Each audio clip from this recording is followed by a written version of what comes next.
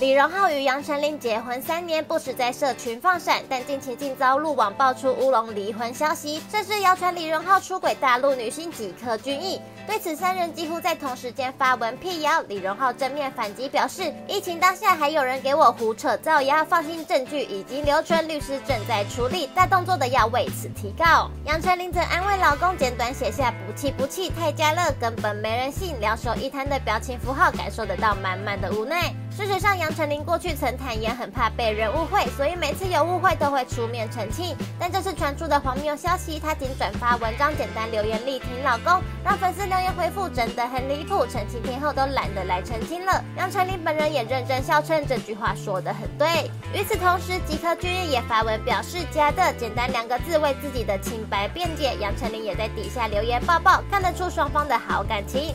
三人的互动让这次的乌龙爆料事件不攻自破。完全乐周梦杰报道。恭喜完全娱乐 YouTube 订阅两百万，两百万，首创电视与新媒体并行的娱乐节目，YouTube 频道订阅人次突破两百万，是台湾地区前十大 YouTube 频道，位居台湾电视节目类频道冠军。